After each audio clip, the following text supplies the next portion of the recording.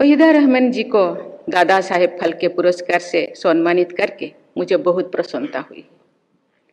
मैं वहीदा जी को हार्दिक बधाई देती हूँ।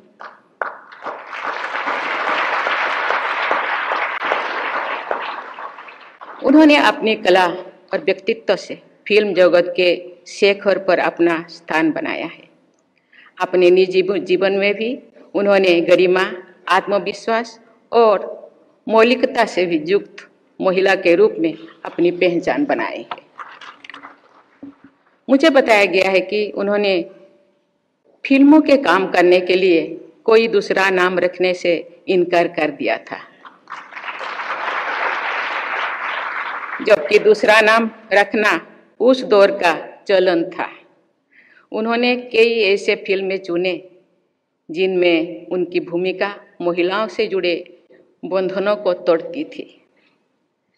वहीदा जी ने ये मिस, एक मिसाल पेश की है कि वुमेन एम्पावरमेंट के लिए खुद महिलाओं को भी पहल करनी चाहिए।